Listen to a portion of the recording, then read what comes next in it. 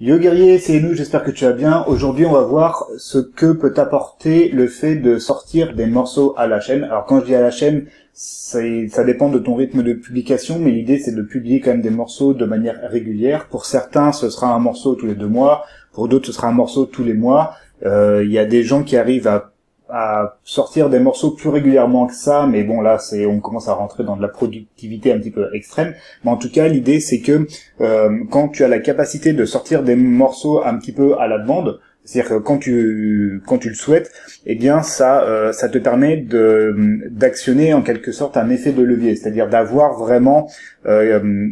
d'être un peu en position de force par rapport à certaines circonstances. Je te je te montre ça euh, un peu plus en détail. En fait, l'effet de levier, il va te euh, il, comment dire, il va être lié à ta capacité à progresser rapidement sur les domaines artistiques, donc compo, arrangement, songwriting, beatmaking. Euh, et sur les aspects techniques, donc mixage, mastering si tu fais le mastering toi-même, ou sur des aspects comme le sound design par exemple. Donc le, si tu veux, plus tu vas chercher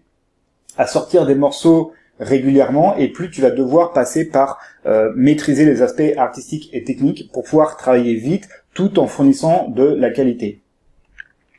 Le deuxième euh, effet de levier, si tu veux, c'est de, de développer ta base de fans euh, plus tu vas sortir des morceaux régulièrement, plus tu vas pouvoir toucher euh, potentiellement de gens et donc avoir des gens qui vont s'inscrire, euh, qui vont te suivre peut-être sur Facebook, sur SoundCloud ou sur les différentes les différentes plateformes. Donc plus tu vas pouvoir amener de la nouveauté et plus bah, les gens vont être intéressés, plus ils vont être sollicités pour te suivre et plus tu vas capter leur attention. D'accord? Donc plus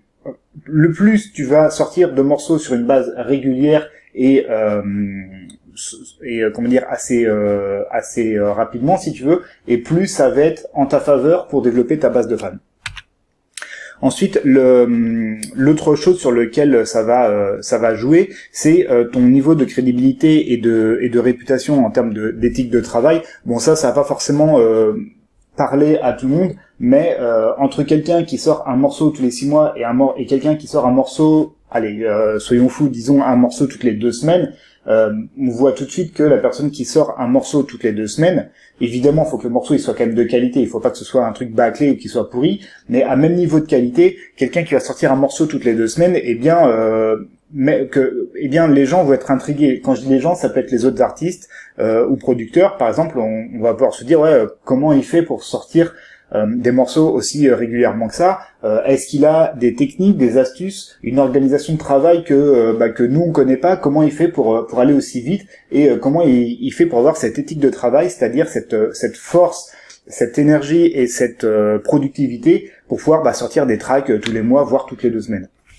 Donc ça c'est quand même c'est aussi en ta faveur forcément. Ensuite un autre truc donc là si tu souhaites, euh, par exemple, te faire connaître ou te professionnaliser et que ton truc c'est de vouloir absolument poser des morceaux sur un ou plusieurs labels, et pourquoi pas y aller progressivement, au départ commencer avec des petits labels, puis monter euh, de plus en plus sur des labels qui sont plus connus, qui ont une plus grosse réputation, si tu veux, eh bien le fait de sortir des morceaux régulièrement, encore une fois, ça va complètement euh, en, dans ton sens, en ta faveur. Si tu te mets à la place d'un label qui va chercher un artiste pour le produire, pour l'aider à se développer, à faire sa promo, etc. Bon bah il n'y a pas photo entre un gars qui sort un morceau tous les six mois et un qui sort un morceau tous les mois ou toutes les deux semaines. C'est beaucoup beaucoup plus intéressant et motivant pour un label de bosser avec un artiste qui, euh, qui sort des tracks régulièrement. C'est beaucoup plus intéressant euh, en termes de visibilité de l'artiste, en termes donc euh, de, développement de fanbase comme on l'a vu tout à l'heure, et pour le label, euh, d'un point de vue plus financier, bah forcément quelqu'un qui sort des tracks régulièrement, ça va être potentiellement plus de tracks qui vont sortir sur les plateformes euh, de streaming comme Spotify, Deezer et autres, et donc du coup c'est comme ça, c'est en partie comme ça que le label va se rémunérer. Et plus tu vas sortir de tracks régulièrement, plus aussi tu vas être donc euh, visible, plus tu vas avoir de chances d'être euh, d'être booké en soirée. Euh, en tout cas, c'est c'est aussi en ta faveur. Et une dernière chose, le, ça rejoint un petit peu ce qu'on parlait sur la productivité, c'est que quand tu cherches à sortir des morceaux sur une base régulière, tu vas devoir travailler sur ton workflow, donc ton, ton organisation de travail et ta productivité. Encore une fois, si tu es mal organisé, et ça, ça arrive, ça arrive assez souvent, notamment chez les producteurs débutants,